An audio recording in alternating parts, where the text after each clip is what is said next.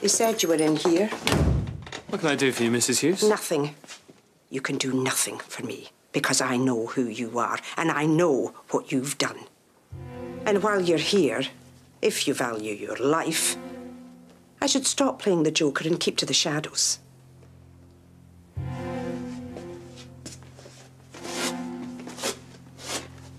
I'm afraid we were a bit drunk that night, Anna and I. So you're right. We were both to blame. No, Mr. Green. You were to blame, and only you. Does Mr. Bates know?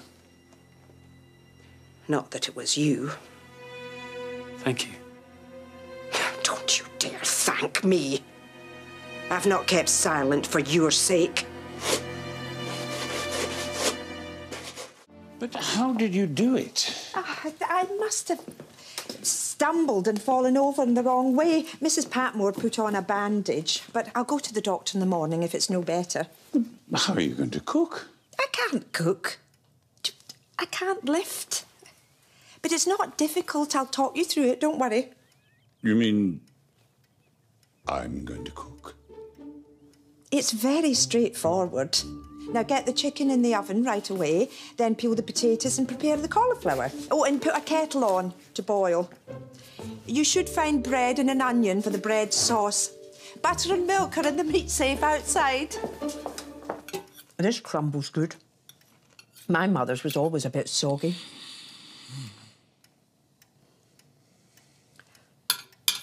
Crumble. Oh, is that it now? Are we done? Just put the things in to soak. And make sure you cover the pots with water. You don't have to do the washing up till tomorrow if you don't want to. You won't be better by the morning. Oh, not for that.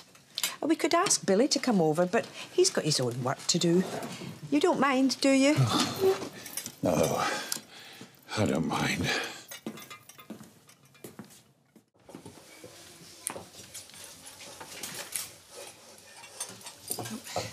How can I help, Mr. Branson?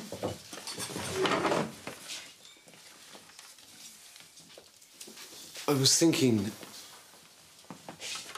It's just.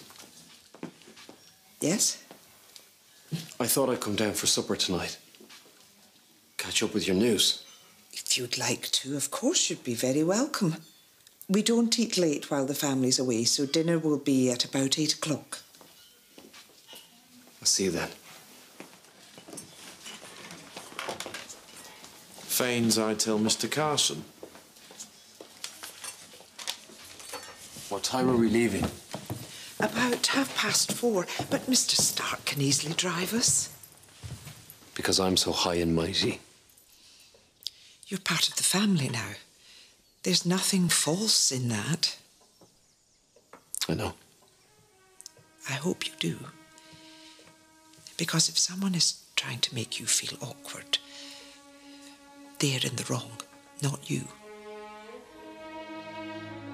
I'll be there at half past four.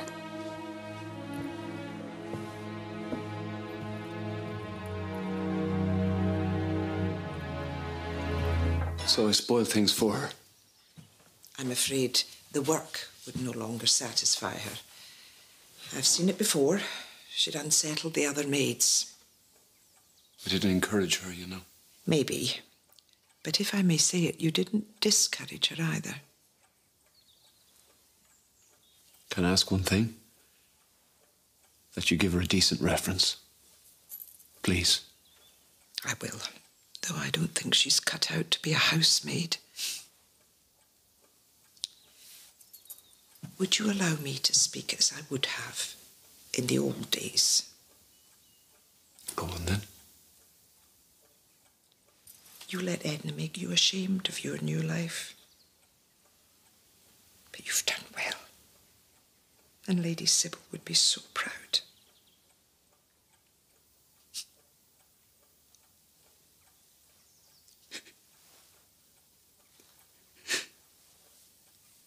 I can't bear to be without her.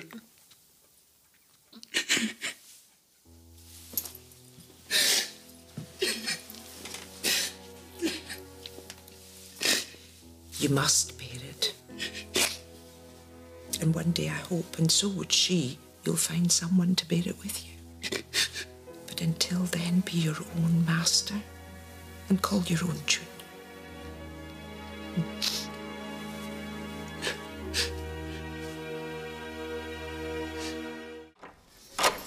I can't stay much longer.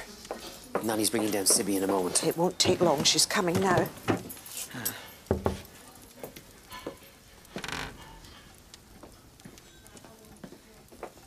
See. What do you see? Well, I know now why you sent for me. You're going to gang up on me and try to pay me off. Why would we pay you off? Well, if I'm pregnant.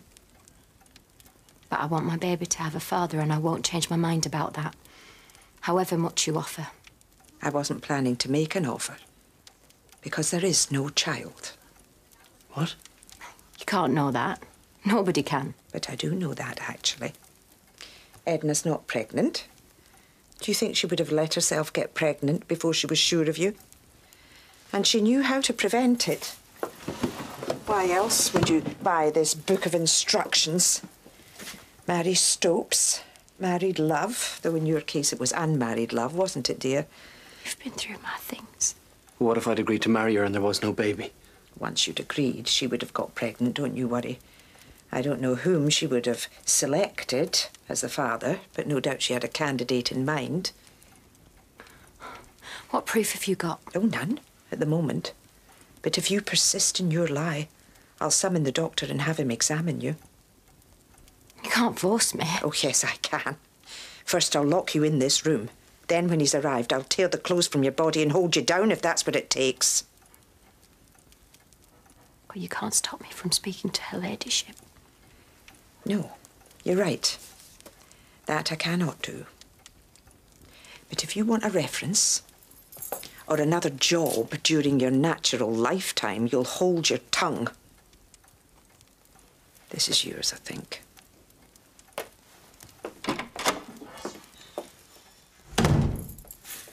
But even with the book, how did you know she wasn't pregnant? I didn't. And the doctor couldn't have told a thing yet either. But at least we know the truth now.